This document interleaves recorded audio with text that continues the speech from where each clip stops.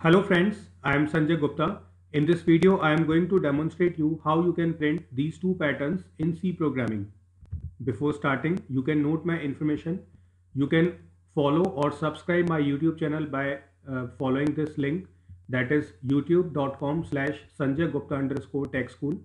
You can download my Android app that is TechMiz based on programming available on Google Play. Now coming on to the topic, First I am explaining the code which will display this first pattern. So here you can see I have declared some variables i, j and n. Then using scanf I am receiving number of rows which user want to print on console. Then first loop is starting from 1 and it will repeat n times. So suppose n is 5. So this i loop will repeat 5 times. First time its value is 1. So control will be transferred to j loop J loop is starting from 1 and it is repeating i times. So first time this loop will repeat one time only.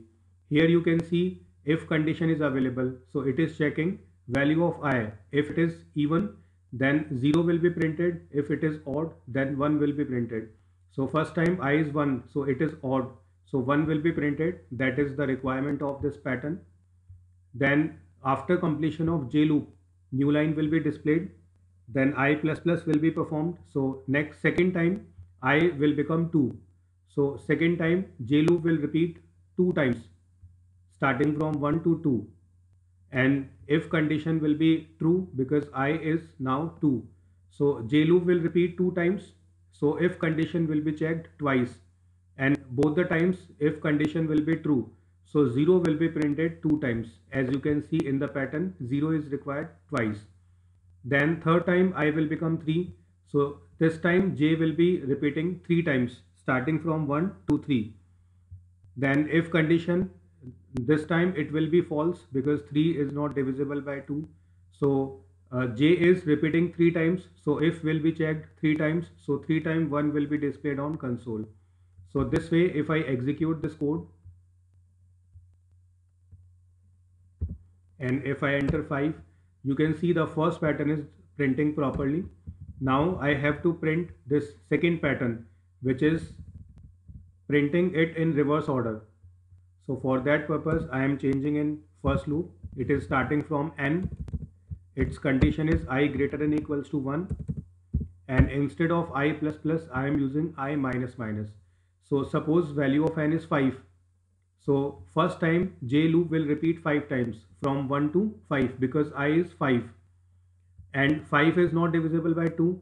So if J are repeating 5 times, so if condition will be checked 5 times and every time it will be false. So 1 will be printed 5 times. Then I will become 4. So J loop will repeat 4 times and 4 is divisible by 2. So 0 will be printed 4 times. So this way reverse of the pattern will be displayed on console. Now again I am executing this code. I am entering 5. You can see the output. Reverse triangle is displayed on console which is printing 5 1 in first row, 4 zeros in second row and so on. So friends I hope you have understood how you can implement code to print above mentioned patterns in C programming with the help of nested loop and if else. This time I have used if else inside the inner loop of uh, sorry inside the inner loop uh, which is implemented with the for keyword. So I hope you have understood uh, all the concepts. If you want to watch more programming related videos, you can open my YouTube channel that is uh, youtube.com slash Sanjay Gupta underscore tech school. Thank you for watching this video.